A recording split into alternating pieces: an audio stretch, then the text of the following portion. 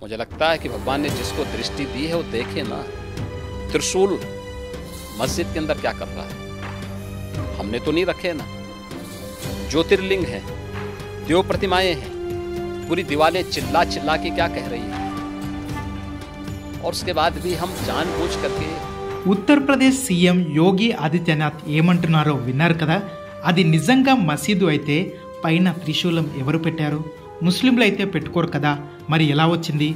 మసీదు లోపల హిందూ దేవుళ్ళ బొమ్మలు ఎందుకున్నాయి? అని UP CM Yogi Adityanath ANI news ఏజెన్సీకి గతంలో ఇచ్చిన ప్రత్యేక పాడ్కాస్ట్లో ఈ వ్యాఖ్యలు చేశారు. సామాన్య హిందువులకు ఉన్న ఈ ప్రశ్నలే యూపీ సీఎంను కూడా వెంటాడుతున్నాయని అర్థమవుతుంది ఇది చూస్తే.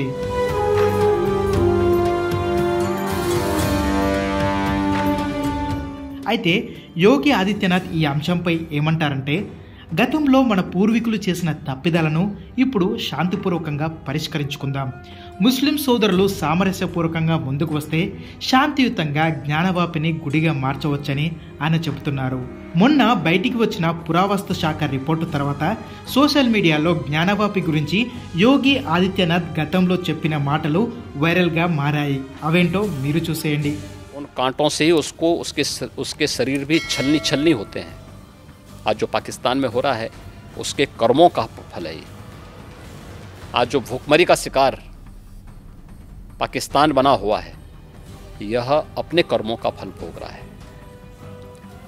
इसलिए पुरानी गलतियों की पुनरावृत्ति न होने दें। बहुत शांतिपूर्ण तरीके से उपलब्ध साक्ष्य जो इस बात को प्रमाणित करते हैं। मुझे लगता है कि भगवान ने जिसको दृष्टि दी है, वो देखे ना। त्रिशूल मस्जिद के अंदर क्या कर रहा है? हमने तो नहीं रखे ना। ज्योतिर्लिंग हैं, देव प्रतिमाएँ हैं, पूरी दीवारें चिल्ला चिल्ला के क्या कह रही हैं? और उसके बाद भी हम जानबूझ करके, देखिए एक होता है कि जन्म से दिखाई नहीं देता है। हम मान सकते हैं कि दिव्यांग है, जन्मांध है, दृष्टिबाधित है। एक जानबूझ करके ढोंग करे। जो दृष्टिबाधित है उसको दिशा दिखाई जा सकती है।